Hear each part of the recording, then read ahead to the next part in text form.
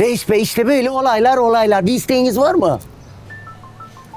Yok tamam. İyi günler. Ah Roza. Şu koca yedi tepeli, üç asma köprülü İstanbul'un altına da üstüne de hükmüm geçti. Ama şu meczup oğlana sözüm geçmedi ya. Yanarım yanarım ona yanarım. Onun kalp onu dinlemiyor. Siz reis bey ona küçükken hiç hayır demedi. Diyemedik tabii. Babası ölmüş Sabi'nin gelmiş ceketimin altına saklanmış. Nasıl diyelim? Kızlarımı şımartmadım onu şımarttığım kadar. Yavru aslan istedi onu bile aldım o kadar yani. Yok almayacak. Yavru kedi alacak. Mau.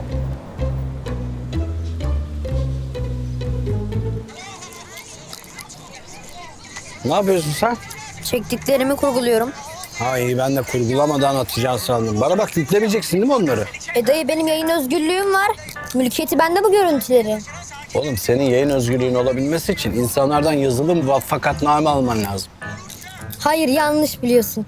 Haber değeri taşıyan kamuya mal olmuş bir olay için benim senin o dediğinden almama gerekmiyor. Özür dilerim dayıcığım. Ben bir an kendimi hukuk biliyorum san. Oğlum Taner'le Melike mi kamuya mal olmuş? Ayrıca haber değeri nerede bunun? Bak başlık şöyle olabilir. Eski eşini darp etti. Ama bu sefer olaylar farklı. Darp edilen erkek. Al senin yayın özgürlüğün benim parmaklarımın ucunda bu kadar işte. Silerler bu. Ya dayı senin bu yaptığın ifade özgürlüğüne büyük bir darbedir. Ya senin bunu yapmaya hakkın yok ki. Amsterdam mı lan burası? Artist artist konuşma. Ya ama dayı bu yaptığın var ya. Ha ne? Bak oğlum biz mafyalardan kurtulmaya çalışıyoruz. Sen ne yapmaya çalışıyorsun? Tanıyor musun sen Taner'le amcasını?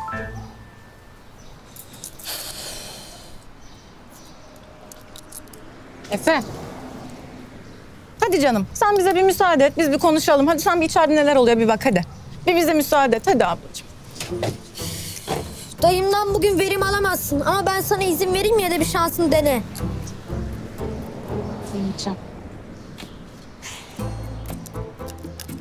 Yalnız bugün Melike'nin yaptığı şey hiç yakışık almadı yani. Bu kadar yükselinir mi? Keskin sirke küpüne zarar. Yani. Maksadını aştı yani biraz. Sence de öyle değil mi yani? Kendi fikrini içinde barındıran sorular hiçbir zaman gerçek bir soru değildir Ceylin. Ama maksadı Taner'i pataklamak olduğuna göre maksadını aştı diyemem tabii. Kaba şiddet uygulayabilir yani öyle mi? Aynen öyle. Sen diyorsun bunu bir de. Sen diyorsun yani Doğan. Ben dünyanın en doğru insanı mıyım Ceylan? Benim ağzımdan çıkan sözlerin hepsi doğru olmak zorunda mı? Ayrıca bize ne onlardan ya? Biz kendi dünyamıza bakalım. Değil mi? Herkesin hayatına kimse karışamaz. Onlar kendi hayatı. E biz ne yapalım? Hazır sen de gitmiyormuşsun işe. Boşuz bugün. Gün alalım mı bugün? ne oldu? Acı getireyim mi? çekirdek geldi. Abla? Anne Nilüfer abla, neredesin sen? Doğan geldi bak. Bir sürü şey olmuş. Melike anlattı bana. Haber verecektin. Neredeydin sen? Hiç merak etmiyorum Ceylan. Yatacağım biraz. Hali hal değil. Ben bir Allah'a bakacağım.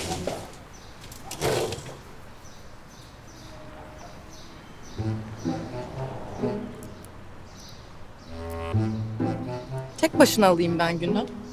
Alınıyor mu acaba? Tek başına alayım ben günü. Tek başıma evleneyim. Tek başıma yaparım yani ben hepsini. Kimse gelmiyor zaten bana. Ben bir deneyeyim ya. Belki de bir de açıklarız. Tek başına. Gün almaya da tek başına giderdim. O zaman. Çünkü de nişanlım yine gelmiyor. Herhalde anlarlardı halimden yani. Var mıdır acaba bir şey? Biri. Ceylan Hanım. Allah sana kadrini kıymetini bilecek bir koca nasip etsin inşallah. Kısmet. Kısmet. İsmet. Reis Bey, kulak misafiri oldum kusura bakmayın. Ne kadar güzel bir dua ettiniz. Çok içten, çok tatlış. Yani aynı televizyonda Ramazan hocaları gibi ya. Ee, biz sizi hep mafya kişiliğinizle tanıdık. Aslında kamuoyu sizin bu yumuşak tarafınızı da bilmeli. Kim konuşuyorsun oğlum sen öyle? Yumuşak tatlış falan filan. Yok yok, o manada değil ya. İnce ruhlusunuz anlamında dedim. Lan bak hala. İyi de ben sanırım konuyu toparlayamayacağım. Burada bıraksak olur mu? Bir zahmet. Ba- başka şeyden bahsedebilir miyim? Doğru demiş Mert. Sonu pek iyi bitmez öyle hikayede. Oğlum olmasa kendi pisliğinde boğulsun diyeceğim ama. Benim ilgilenmem lazımdı sizinle en başından beri. Olaylar bu noktaya gelmeden durdurmalıydım Hamit. Hayvan herif ya. Abla sen de niye söylemiyorsun bu adam kumara dadandı desene bana. Yani bir günde bu raddeye gelecek şeyler mi bunlar? Ben yıllar önce kendimi kandırmaya başladım. Kendimi. Sonra da sizden sakladım. Utandım.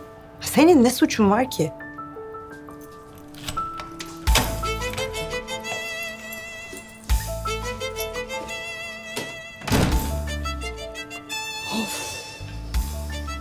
Anneme kumarbaz pisliğin biriyle evli olduğumu belli etmemek için yıllarca mutlu bir eş rolü oynadım. E şimdi de oğluma evladım baban kumar borçları yüzünden uluslararası uyuşturucu çetesinin kuryesi oldu. Sonu da kesin hapismiş. Bil de diyemeyeceğime göre ne yalanlar uyduracağım, ne senaryolar uyduracağım. Bir şey söylemeyeceğiz Efe abla. Ben bundan sonra onunla çok yakından ilgileneceğim. Acı, mutlu, iyi, harika bir hayat vereceğiz aslanıma. Sen merak etme tamam mı? O da büyüdükçe gerisini kendi getirir artık yani. Sen onu dert etme. Sen anneme ne diyeceğiz onu düşün. Borçları, hacizleri falan öğrenirse of yine of. Yani dile getirmek bile istemiyorum abla ya. Ne yapacağız?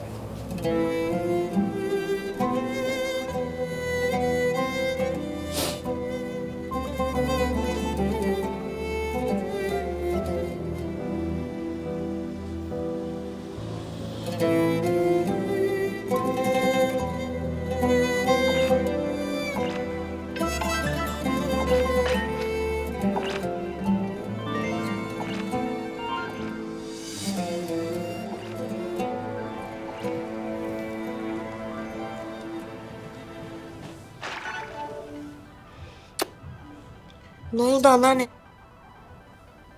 Hiç. Neden beni öpüp seviyorsun? Kötü bir şey mi oldu? Allah Allah. Torunumu öpüp sevemez miyim sebepsiz yere? Vallahi biri beni öpüp sevince arkasından kesin gıcık bir şey oluyor da o yüzden. Akşama ne yemek yapayım sana? Ne istersin? Ne istersen yapacaksın ama. Tamam, söz. Tereyağında pirzola. Ha bir de yanında pilav. Aman tamam. Altın bileziklerimden birini satar, pirzolayı alır yaparım torunuma. Ama seni mi üzeceğim torunum benim? Canım oğlum benim, tatlı. Kesin kötü bir şey oldu. Aman neyse ne, olan oldu. Asıl sen Melike ile hangi cehennemdeydin bakayım? Sorunlarıma sevgi dolu yaklaşman ne hoş. Şu an buna duygulanmak isterdim ama çok uykum var. Hadi kalk yatağımdan sabaha kadar sandalye tepesinde yattım. Yok ya, ben yatacağım burada git başımda. Ya belim tutuldu. Kalk yatağımdan. Git başka yerde uyu. Ya kalk yatağımdan. Ya vallahi bak döverim seni. Ay tehdide bak. Reçellerimle tehdit etsen daha çok korkardım. Kalk. Ha Melike. Ne haber Melike Hanım? Daha iyi oldun mu? İyiyim. Doğancığım çok daha sakinim, çok daha keyifliyim. Bugün duygusal terörle fiziki şiddet arasındaki farkı öğrendiğim bir gündeyim. Hatta bir pratik yapalım hemen. Kızım öyle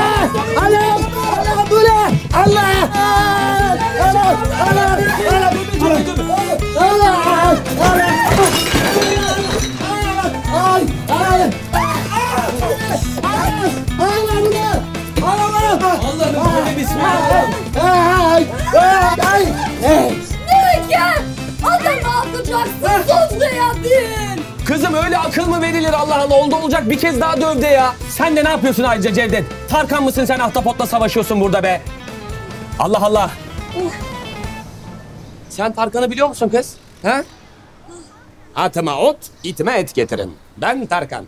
Yüce Altar'ın oğlu Tarkan. Şivesi vardı böyle tabii. Tar Tarkan nereliydi acaba ya? Tarkan Rizili Taner Bey. Değil mi? Hayranıyla evlendi. Kızım onu mu diyorum? Benimki hancının kızıyla evlendi. Hani Tarkan, Yüce Altar'ın oğlu Tarkan. He? Ayrıca Rize'nin Orta Asya'da ne işi var? Ya ne Rize'si ne Orta Asya'sı. Taner Bey bana saldırdı ahtapot. Beni niye kurtarmıyorsunuz ya? Cevdet ben ahtapotla insan arasına girmem. Rahmetli babamın vasiyetidir bana. Sizin baba öyle dedi size. Tabii. Adamın bana vasiyetiydi. Rahmetli ölmeden önce beni yanına çağırdı tamam mı?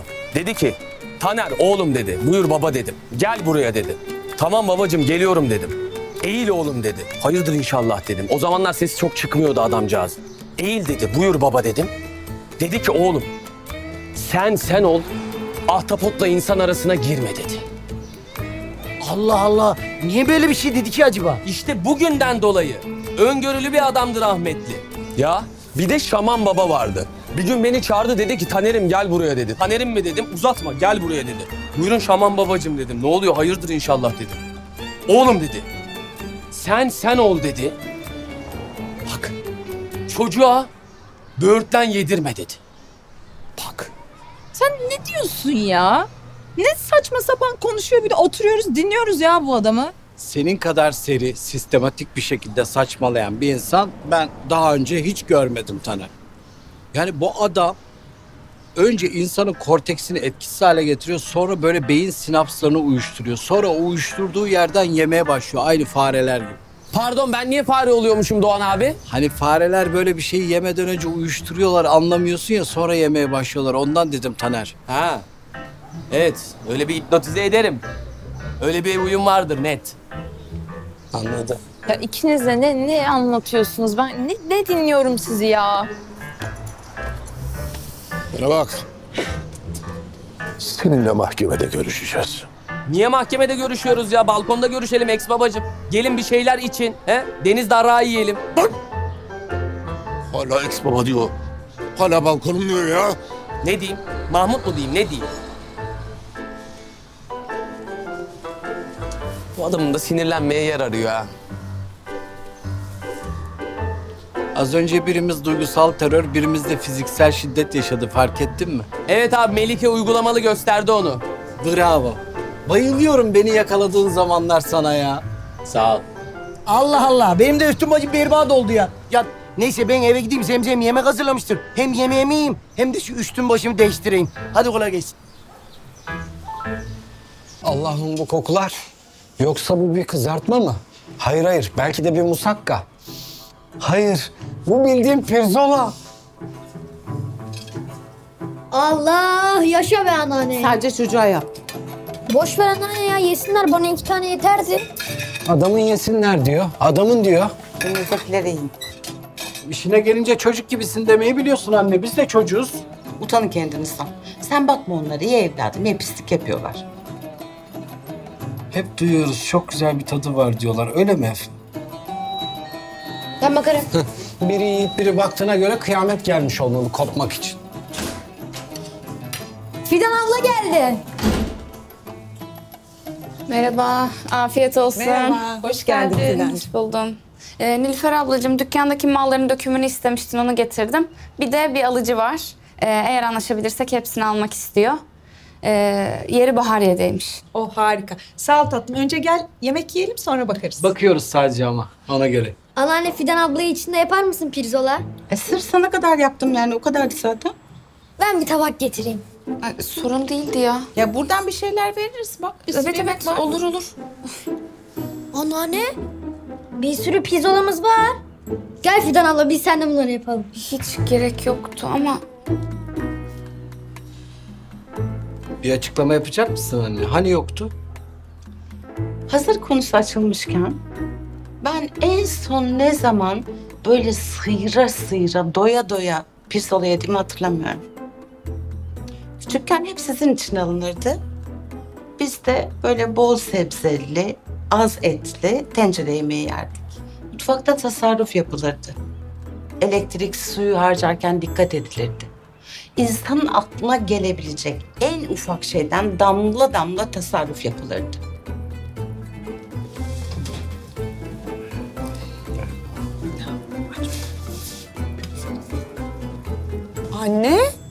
Tapu mu o? Evet, tapu.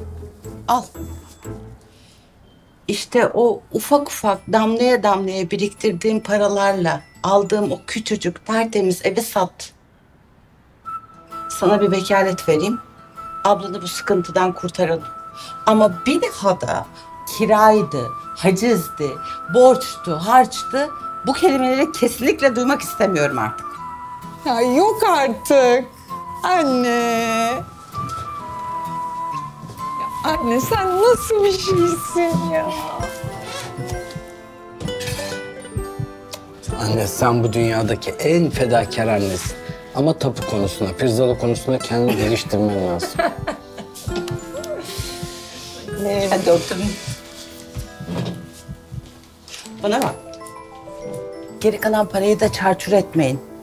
Sana şöyle doğru dürüst yeni bir iş kuralım. Hani belli ki o yün işinde ekmek yok. İstekecek. Hadi yiyin. Efe'ye de bir şey belli etmeyin tamam mı? İşte bir sürü pirzolamız var. Herkes yesin. Getir oğlum. Ben servis yapayım. Dur Fidancığım.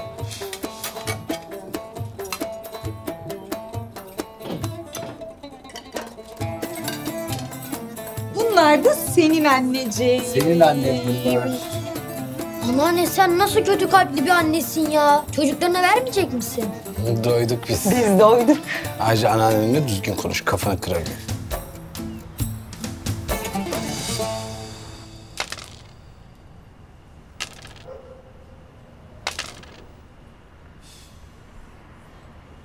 Roza!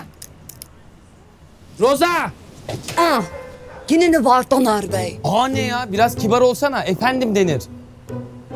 Çok sıkıldım. Hadi tavla atak. Niye? Lazım değil mi?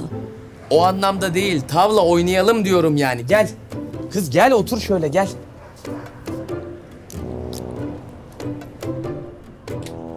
Tavla bilmiyor, satranç biliyor. Kim? Kim kim? Sen dedin. Tavla bilmiyor, satranç biliyor. Kim? Kızım sen dedin ya. Tavla bilmeyip satranç bilen kişi kim? Ben. E o zaman ben desene. Tavla bilmiyorum, satranç biliyorum desene. Niye gayip kişi gibi bahsediyorsun kendinden? Allah Allah, iyilik ekleri de ne oldu? Sen üçüncü tekin şahıs değilsin. Lütfen.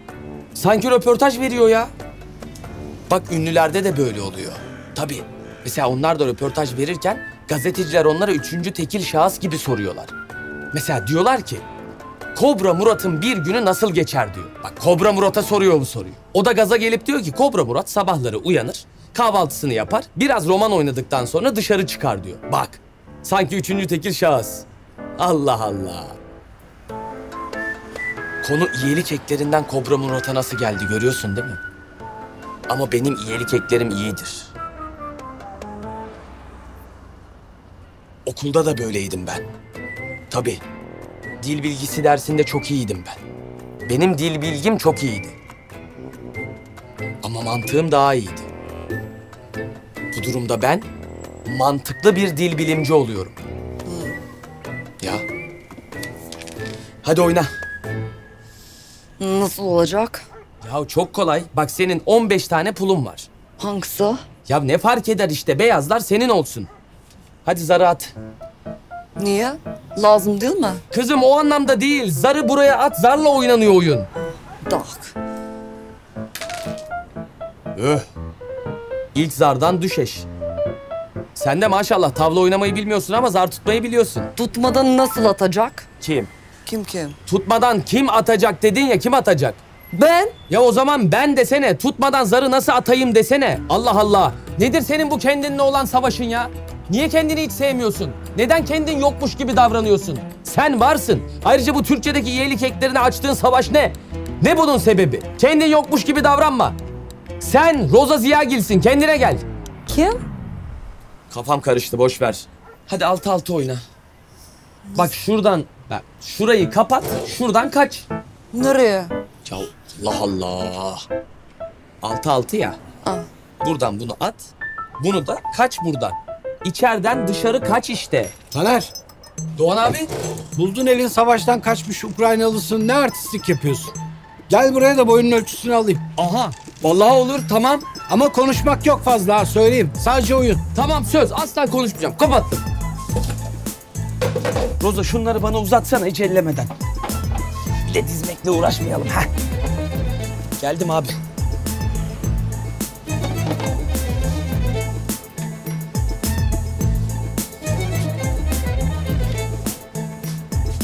Roza en son ne attın sen? Dur ver. Sen var ya adamsın adam. İyi ki abi demişim sana. Biz buna konuşmak diyoruz Taner. Tamam sustum.